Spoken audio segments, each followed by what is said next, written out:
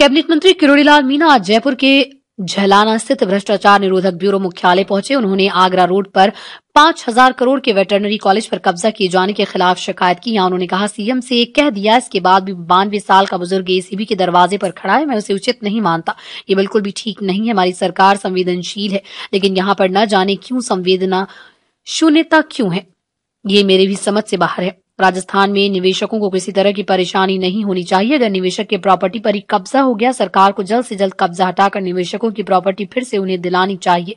मुख्यमंत्री जी की सुनवाई क्यों नहीं हो रही? इस सवाल के जवाब में किरोड़ी ने कहा, इस सवाल का जवाब तो मुख्यमंत्री ही दे सकते हैं। मैं मंत्री हूँ, मेरे विभाग में तो अधिकारी मेरी सुनते हैं भाई। इस दौरान किरोड़ी के साथ कॉलेज के संचालक डॉक्टर राज खरे भी मौजूद रहे, जिन्होंने राइजिंग राजस्थान में सरकार के खिलाफ धरना देने का ऐलान किया। किरोड़ी लाल मीणा ने कहा भैरू सिंह शेखावत ने अमेरिका जाकर डॉक्टर खरे को राजस्थान में निवेश का न्यौता दिया। इसके बाद उन्होंने करोड़ों रुपए लगाकर जयपुर में बहुत बड़ा अपोलो वेटरनरी कॉलेज खोला, जो मौजूदा वक्त में चार से पाँच हज़ार करोड़ रुपए की प्रॉपर्टी है। पिछले कुछ सालों में वहाँ असामाजिक तत्वों ने कब्जा कर लिया। इसके बाद दो हज़ार उन्नीस से ये राजस्थान सरकार के चक्कर ही काट रहे भ्रष्टाचार निरोधक ब्यूरो में भी इन्होंने तीन केस दर्ज किए।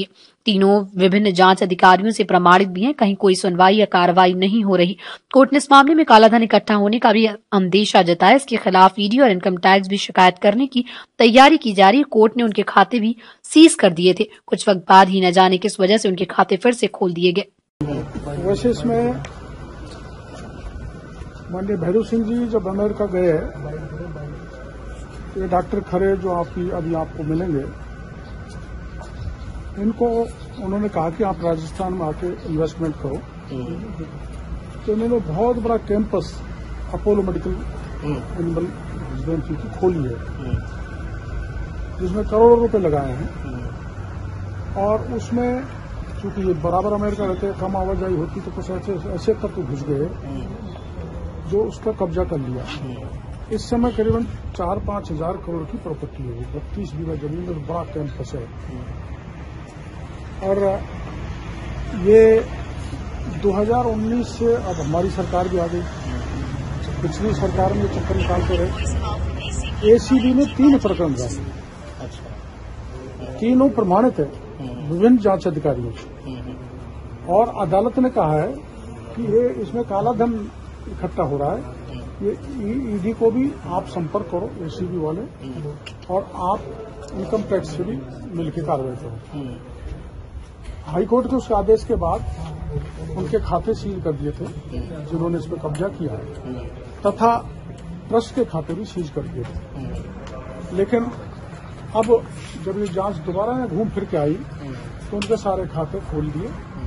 और वो जो पूरे राजस्थान के लिए कॉलेज बनाया था, राजस्थान के बच्चे यहाँ पे पढ़ेंगे इस समय 500 बच्चे हैं, जो राजस्थान के मात्र 200 बच्चे हैं।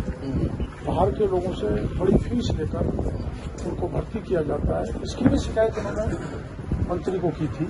वो एक अलग मुद्दा है, लेकिन कई एफ़ आई आर हैं, जो प्रमाणित हैं, अदालत के आदेश हैं, और कि मुलजिमों को गिरफ़्तार किया जाए।